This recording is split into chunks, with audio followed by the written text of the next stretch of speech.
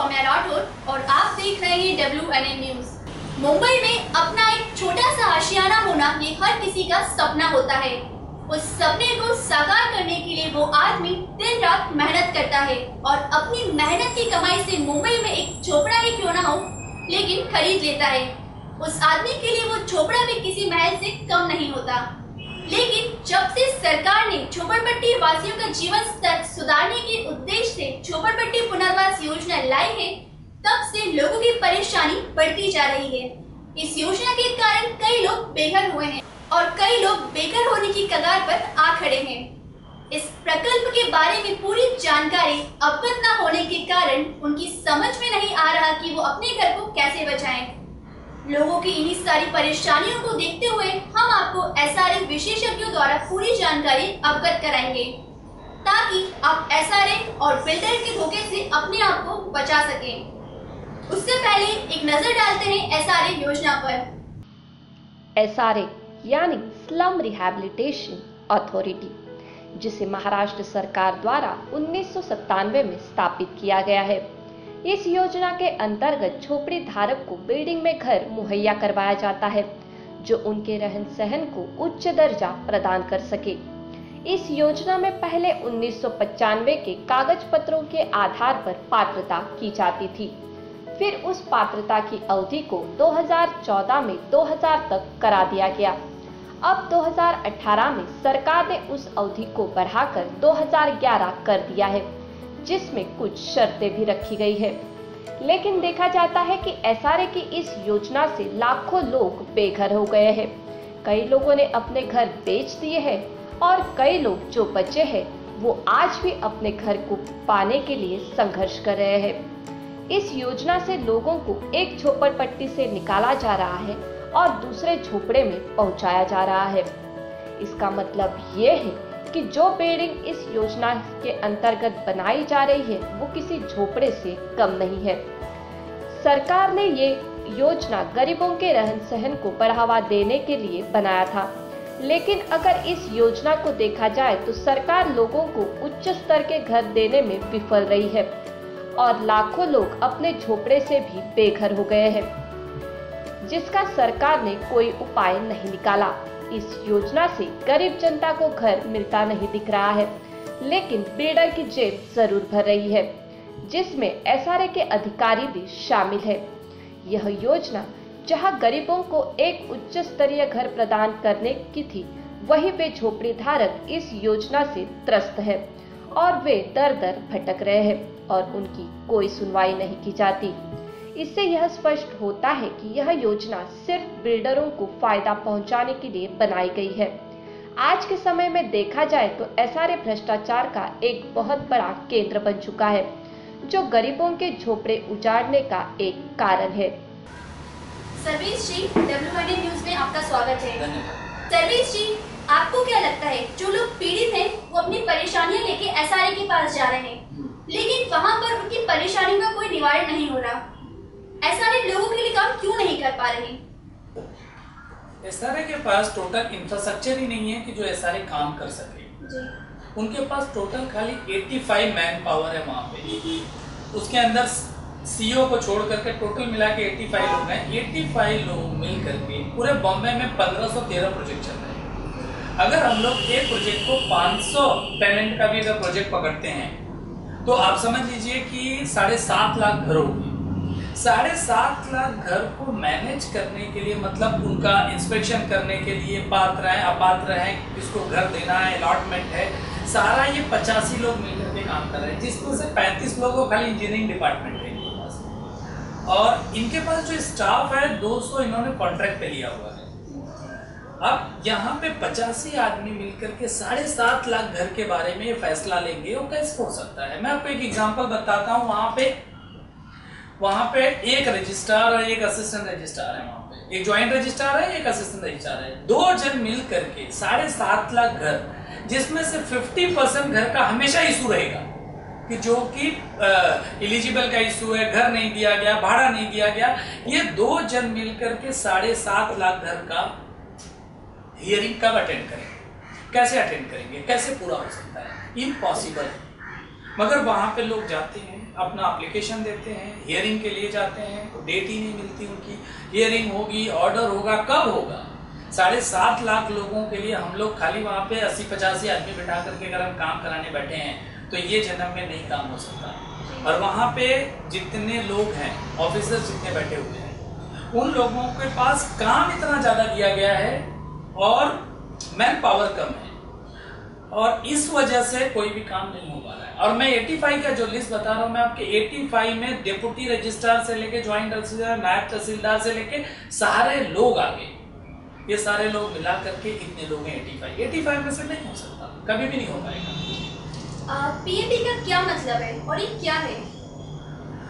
PAP का मतलब है पब्लिक पब्लिक अफेक्टेड पर्सन जो। रोड कटिंग में चली जाती है या कोई भी लैंड गवर्नमेंट अगर एक्वायर कर लेती है उस लैंड के जो लैंड एक्वायर कर लेती है गवर्नमेंट वहाँ पे जो घर बना के लोगों को दिया जाता है वो पीएपी में चले जाते हैं। एग्ज़ाम्पल मैं आपको समझा रहा हूँ कैसे है कि मेरा यहाँ पे रोड में घर था यहाँ से रोड पहले प्लान में नहीं था अभी रोड यहाँ से जा रही है। या रोड की वाइंडिंग हो रही है। तो मेरे को कटिंग हो जाती है और मेरे को एक लेटर मिल जाता है कि आपको हमारे पास जब घर अवेलेबल होगा तब हम आपको घर दे देंगे। ये वो पीएपी के लोग होते हैं। सर बिल्डिंग में कितने पीएपी फ्लैट होते हैं?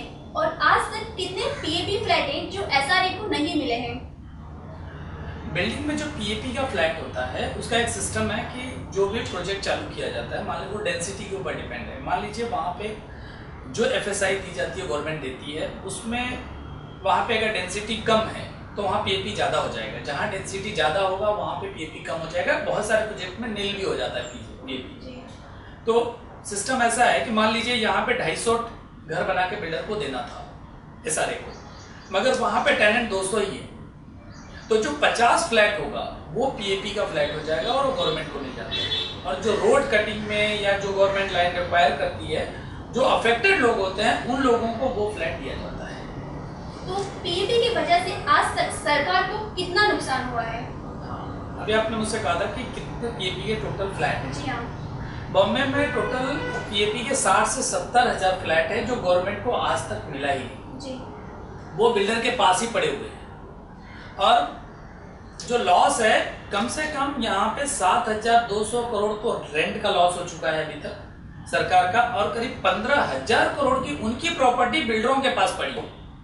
या वहाँ के सोसाइटी के लोग हैं बिल्डर के पास पड़ी हुई, जो कि गवर्नमेंट को हैंड मतलब हैंड ओवर ही नहीं हुआ है सारे मैं एग्ज़ाम्पल में समझाऊँगा तो शायद ईजी होगा पब्लिक को समझने में और हमको कि जैसे मैं साठ हज़ार अगर फ्लैट है टोटल पीपी उसको अगर मैं पूरे बॉम्बे में एक अप्रोक्सीमेटली दस हज़ार का भी रेंट जोड़ू, दस हज़ार का रेंट नहीं होता है, पंद्रह हज़ार, बीस हज़ार के नीचे रेंट कहीं नहीं मिलता फ्लैट फिर भी मैं अगर दस हज़ार का रेंट जोड़ता हूँ तो दस हज़ार के हिसाब से करीब साठ करोड़ रुपया पर मंथ रेंट आता जो वो रेंट अगर ये फ्लैट गवर्नमेंट को मिली होती तो गवर्नमेंट के पास होता। मगर नहीं मिली है सब बिल्डर के पास पड़ी। तो साठ करोड़ रुपया पर मंथ का रेंट बिल्डर कमा रहा है। साल भर का 720 करोड़ रुपया हो गया और लास्ट 10 साल से इन्होंने फ्लैट जो नहीं दिए तो 7,200 करोड़ तो खाली रेंट बिल्डर कमा चुके हैं। ये गवर्नमेंट के फ्लैट से और उस अगर प्रॉपर्टी की मैं वैल्यू काउंट कराऊँगा आपको, कि मान लीजिए अगर एक फ्लैट 25 लाख रुपए का भी मैं सारे का पकड़ू तो साठ हज़ार फ्लैट इंटू पच्चीस लाख। ये हो जाता है करीब पंद्रह हज़ार करोड़ रुपया। पंद्रह हज़ार करोड़ की गवर्नमेंट की प्रॉपर्टी है, जो कि बिल्डरों के पास पड़ी हुई सरकार के पास आज तक नहीं है। और सरकार ने उसके लिए कुछ भी नहीं कर रही है, कि मेरे फ्लैट तुमने क्यों रखे हैं, क्यों नहीं लिए? आज दस दस, पंद्रह पंद्रह साल हो गए। क्योंकि अच्छा इसके अंदर अगर गवर्नमेंट को फ्लैट मिलता तो वो जो पीएपी में अफेक्टेड लोग हैं उनको घर मिल गया हाँ। तो उनके जो बाहर बेचारे भाड़ा दे रहे हैं और भटक रहे हैं गली गली वो तो खत्म हो जाता।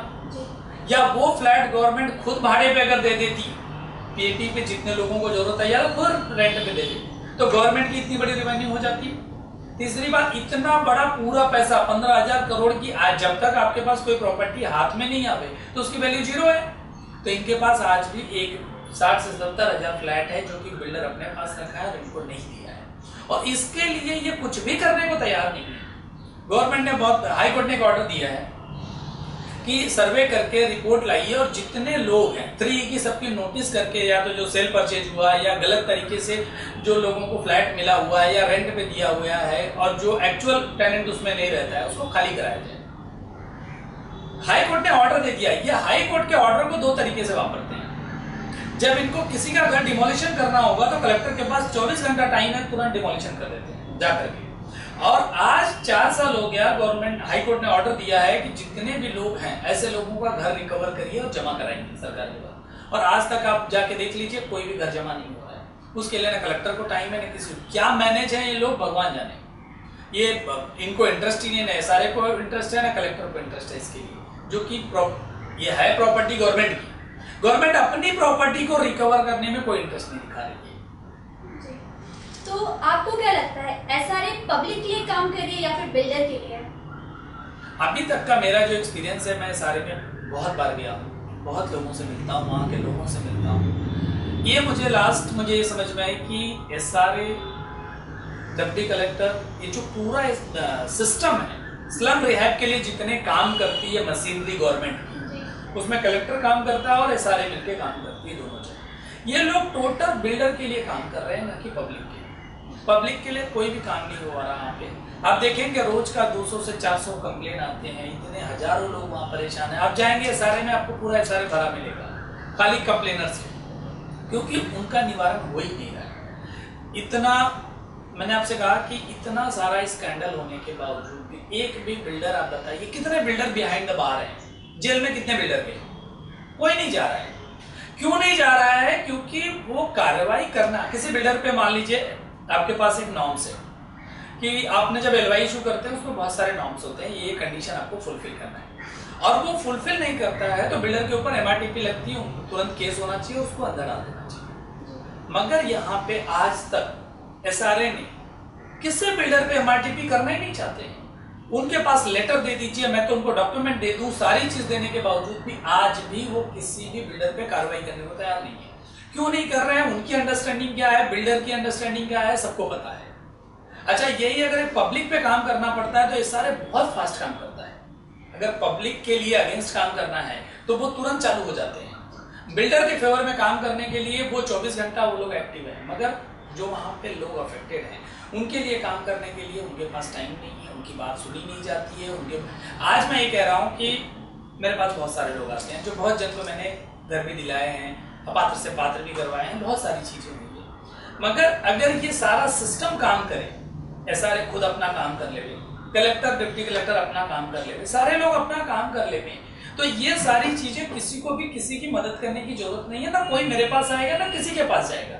ना आपके पास बहुत सारे चैनलों में देखेंगे, हमेशा कंप्लेन आती रहती है, हमारे साथ ये हुआ, वो हुआ, आते रहते हैं। मगर उसका सॉल्यूशन क्या आता है? कि अगर वहाँ पे उनको सॉल्यूशन मिल जाए तो किसी के पास क्यों जाए? मगर वहाँ सॉल्यूशन नहीं मिलता है। आप चले जाइए हाईकोर्ट में चले जाइए। भाड़ा नहीं मिल रहा है इसके लिए लोग। हाईकोर्ट में केस फ़ाइल कर रहे हैं। क्यों? हाईकोर्ट के पास और कोई काम धंधा नहीं है? कि मतलब ये भाड़ा नहीं मिला इसलिए हाईकोर्ट इनका केस अमेंड करे? अगर ये तो काम है सारे का ये सारे किसी को भाड़ा नहीं मिले, अगर दिला देवे तो हाईकोर्ट में क्यों मैटर जाए अगर जिसको घर नहीं मिला है, वो उसको घर दे दे तो वो कोर्ट में क्यों जाए इन्होंने हाई पावर कमेटी बना के रखी, अब तो ग्रीवेंस कमेटी हो गई है दूसरी, जो चेन बंद हो गई है अभी ग्रीवेंस कमेटी कर दी। ये सारी कमेटियाँ बनाई, अगर सारे कमेटियों में जजमेंट लोगों को मिल जाए तो लोग क्यों जाएँगे कोर्ट में? जो जितने मैक्सिमम केसेस कोर्ट में अभी देखेंगे तो ये सारे के मैक्सिमम केसेस कोर्ट में हाई कोर्ट में चल रहे हैं। कोर्ट के पास इतना ऑलरेडी हमारे पास टाइम नहीं है कोर्ट के पास कि लोगों के ये छोटे मोटे केस के लिए वहाँ पे कोर्ट में जाने की ज़रूरत है।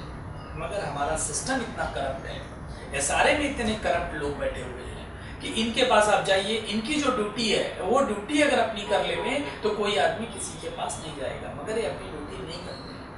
आज दस दस साल, पंद्रह पंद्रह साल से लोगों को घर नहीं मिल रहे बिल्डर बिल्डिंग नहीं बना रहा है। पता चला, जितने भी एल है, उसके नॉर्म्स उसने फुलफिल ही नहीं कर रहा है। बहुत सारी बिल्डिंग है ओसी नहीं आई हुई है। मगर उस पर इन लोग किसी पे केस नहीं करते। मैं एक एग्जांपल आपको बताऊँगा, बड़ा अच्छा लगेगा। कि इन्होंने क्या किया, एक बिल्डिंग बनाई। किसी बिल्डिंग में अगर तेरह माले की, मान लीजिए बिल्डिंग बनती है तो उसमें एक फ्लोर लास्ट का अगर इन्होंने चढ़ा दिया, और एक दो, एक महीने में चढ़ जाता है। उस टाइम पे सारे का बंदा वहाँ मतलब जो इंजीनियर है, नहीं पहुँच पाया, नहीं इंस्पेक्शन हुआ होगा। ये हो सकता है पॉसिबिलिटी है।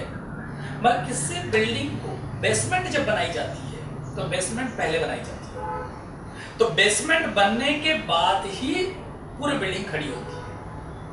उनके जो उनको मिला है एलवाई उसके अंदर सिर्फ़ चौवालीस मीटर का करीब बेसमेंट बना उसकी जगह पे उन्होंने ढाई हज़ार फुट एक्स्ट्रा बेसमेंट बना दिया।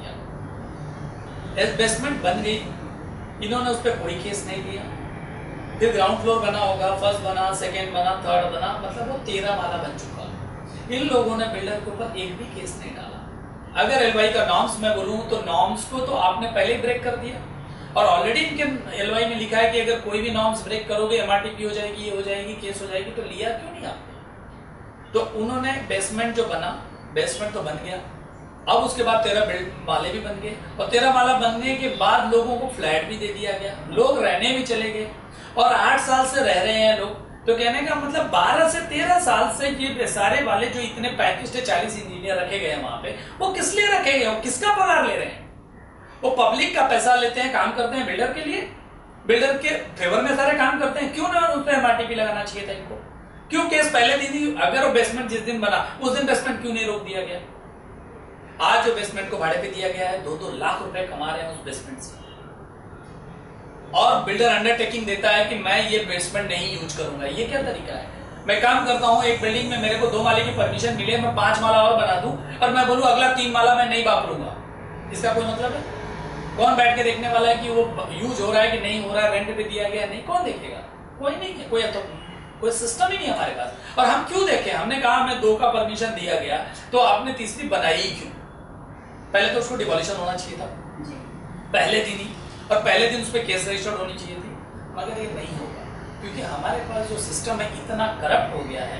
ये सारे का अगर मैं आपको बताऊँ कि इंडिया में अगर सबसे बड़ा आज के रेट में जो स्कैंडल चल रहा है पूरे इंडिया का वो कई लाख करोड़ का अगर स्कैंडल है तो ये सारे में चल रहा है। अगर मैं तो डॉक्यूमेंट के साथ में एविडेंस के साथ में देने को तैयार हूँ। कोई भी है कोई अथॉरिटी बनाई जाए कोई कमेटी बनाई जाए कमेटी का मैं डॉक्यूमेंट देता हूँ।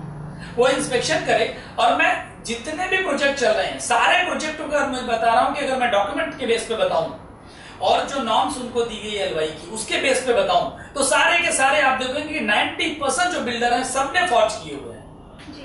और उसके बावजूद भी एक भी बिल्डर पे कार्रवाई नहीं गवर्नमेंट कई लाख करोड़ रुपया गवर्नमेंट के पास आज भी आ सकता है। इसके लिए तो मैंने पीएम को भी लेटर लिखे थे। मगर होता क्या है? एक लेटर नहीं मैंने पीएम को छह लेटर लिखे नरेंद्र जी को मैंने छह लेटर लिखे।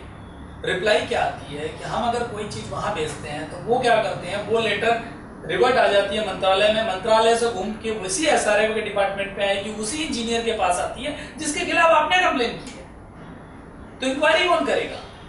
कोई नहीं बचता है। तो आज हमारे पास दिल्ली से लेके महाराष्ट्र गवर्नमेंट से लेके क्लर्क तक यहाँ पोजीशन है कि किसी क्लर्क का भी अब कंप्लेन प्राइम मिनिस्टर को करती है तो घूम के वो फ़ाइल क्लर्क के पास ही आती है। और उस पर कोई एक्शन नहीं होता है। तो प्राइम मिनिस्टर ऑफ़िस से जस्ट एक पोस्ट ऑफ़िस हो गया है कि हम यहाँ से लेटर भेजे वो वहाँ से लेटर यहाँ भेज देते हैं। लास्ट टाइम भी कई इंटरव्यू मैंने बोला कि फडनवीस जी इसके लिए कमेटी बिठा दे। कमेटी को पूरी हेल्प करने के लिए मैं तैयार बैठा हूँ। आपको जो चाहिए मैं आपको डॉक्यूमेंट देता हूँ उस बेस पे आप वेरिफिकेशन करिए और चाहिए मैं साथ में आता हूँ आपको वेरिफिकेशन करा के दिखाता हूँ कितने फॉर्ज है वो भी मैं आपको दिखाता हूँ। और उसके ऊपर जो उसके अंदर है, चाहे वो सारे डिपार्टमेंट के लोग हो, या तो बिल्डर हो, या तो वहाँ के रहवासी, चाहे जिसने भी गलती की है। सबके ऊपर एफ़ करिए, रजिस्टर करिए, सबके ऊपर एक्शन लीजिए। अगर ये, हमने अगर ऐसा चार छह दस प्रोजेक्ट में देता हूँ, खाली मैं तो बोल रहा हूँ, पूरे बॉम्बे में आपको तीन से चार प्रोजेक्ट में देता हूँ। तीन प्रोजेक्ट दे देता हूँ, तीनों प्रोजेक्ट के ऊपर अगर आपने प्रॉपर कार्रवाई कर दीजिए, पूरी बॉम्बे के जितने भी बिल्डर हैं पहली बात तो अपने आप को करेक्शन कर लेंगे, जो गलती की है सही कर लेंगे, या तो सब बिहाइंड द बार जाने के डर से गलतियाँ करना छोड़ देंगे। मगर एस में आज तक ये सब कभी भी नहीं हुआ है कि एसआरए डिपार्टमेंट किसी बिल्डर के ऊपर एकदम स्ट्रिक्ट एक्शन लिया हो कि नहीं, इन्होंने गलत किया है, ये नॉर्म्स के अगेंस्ट गए और इनके ऊपर एफआईआर किया अरेस्ट किया, डालो बिहाइंड द बार इनको रहने दो, छह साल, आठ साल इनकी प्रॉपर्टी अटैच किया जाए, बहुत कुछ कर सकते हैं हम लोग। पर हम करेंगे नहीं। क्यों नहीं करना चाहते हैं? ये तो सरकार को पता है, आप भी समझ रही है। हम लोग तो सिर्फ़ इतना हम लोग गाइडलाइन कर सकते हैं। हम तो कई बार सरकार से कहे कि आप के पास अगर नहीं है, आपको लग रहा है आपको कुछ पता नहीं है ना कि हमारे यहाँ कोई स्कैंडल नहीं हुआ है। अगर सारे डिपार्टमेंट को लग रहा है नहीं हुआ है, मैं स्कैंडल की कॉपी देता हूँ डॉक्यूमेंट के बेस पे देता हूँ, अब इंक्वायरी करिए। तो मैं तो तैयार पड़ा हूँ। अब सरकार के ऊपर डिपेंड है, सरकार क्या करना चाहती है और कैसे करना चाहती है। मगर जो सबका साथ सबका विकास जो मोदी जी का नारा था ये सिर्फ़ रह गया है कि सबका तो विकास नहीं होगा मगर सरकार अपनी विकास बहुत जोरों में कर रही है। हाँ। अगर यही रहा तो पब्लिक का जो विकास कभी नहीं होने वाला इसमें दो ही जन का विकास हो रहा है एक तो बिल्डर का विकास हो रहा है और एक अपना गवर्नमेंट का विकास हो रहा है। सरकार अपना विकास कर रही है और बिल्डर अपना विकास कर रहा है। और उसके अंदर से भी बिल्डर जो दे दिया वो मिलेगा नहीं बाकी कुछ नहीं मिल रहा है। आज सरकार की रेवेन्यू आज मैं वही बताया आपको, साढ़े सात सात हज़ार करोड़ रुपया भाड़ा उसने कमा के गया। क्या मिला सरकार को? कुछ नहीं मिल है। तो हमारे यहाँ पे ये सब सिस्टम है इतना करप्ट हो गया है कि लोगों के अंदर लगता है कि जब पैदा होते हैं तब से उनके दिमाग में और पैदाइशी करप्शन घुस जाती है कि जितने टाइम हम चेयर पे हैं, हम क्या बना सकते हैं, क्या कमा सकते हैं, वो टारगेट पे चलते हैं। कि कल यहाँ पे हूँ, तीन साल बाद ट्रांसफ़र हो जाएगा, जितना कमाना है कमा लो। जो बिल्डर है, ये बोला बिल्डिंग बना रहा हूँ, जितना कमाना कमा लो। हर आदमी की एक होगी कि मैं कितना कमा लू। उससे क्या अफेक्ट होगा, कितने लोग बेघर होंगे, कितने लोग सुसाइड कर रहे हैं, इसकी किसी को चिंता नहीं है। आज बहुत सारे जो सारे के लोग हैं सुसाइड कर चुके हैं। मगर अब सुसाइड नोट नहीं ये आपके पास। लिख के जावे कि मैं मेरे को घर नहीं मिला, इसलिए सुसाइड किया हूँ मैं। तब लोगों को समझ में आएगी कि ये सारे मतलब सुसाइड हुआ है। सुसाइड में आज आदमी तंग होता है, जाकर के सुसाइड कर लिया है और बहुत सारे लोग इसकी वजह से भी मर रहे हैं। आज मैं साढ़े सात लाख मैंने आपको बोला घर की बात कर रहा हूँ, पंद्रह सौ तेरह प्रोजेक्ट साढ़े सात लाख घर का मतलब हो गया पैंतीस लाख लोग। मतलब एक घर अगर जाता है तो पाँच आदमी कम से कम रहते हैं तो कम से कम पैंतीस से चालीस लाख अफेक्टेड और परेशान लोग और उसमें फिफ्टी परसेंट लोग आबाद नहीं है। तो मतलब डायरेक्टली अगर मैं बताऊँ तो 18 से 20 लाख लोग तो ऐसे ही रोड पे घूम रहे हैं। मेरा घर नहीं मिला, मेरा पेपर नहीं मिला डिप्टी कलेक्टर क्या सब चक्कर ही मार रहे हैं। और कोर्ट कचहरी में इसलिए केसेस बढ़ रहे हैं। तो इसमें एस को जो अभी तक उन्होंने किया है, और जो कर रहे हैं, अगर यही सिस्टम रहा तो आगे चल के बहुत बड़ा ये सुसाइड का एक अड्डा बन जाएगा एस आर सर्वेश जी, आपने हमारे दर्शकों को जो भी जानकारी दी है उसके लिए आपका बहुत बहुत धन्यवाद। सर्वेश जी की बातों को सुनने के बाद, अब आपको पता तो चल ही गया होगा कि एसआरए अपना काम कितना ईमानदारी से कर रही है। एसआरए में होने वाली भ्रष्टाचार को देखकर ऐसा लगने लगा है कि सरकार ने गरीबों का जीवन स्तर सुधारने के लिए बनाई हुई झोपड़पट्टी पुनर्वास योजना गरीबों का विकास करने के बजाय अपने ही विकास करने में लगी है। और शायद इसीलिए गरीब जनता जिए हमारे हमारी सरकार को इससे कोई फ़र्क नहीं पड़ता। अगर आप भी एस से जुड़ा कोई भी सवाल पूछना चाहते हैं तो हमें स्क्रोल पर दिए गए नंबर पर संपर्क करें या कमेंट कर सकते हैं। एस से जुड़े अन्य सवालों के साथ हम फिर हाजिर होंगे। आप देखते रहिए डब्ल्यू एन न्यूज़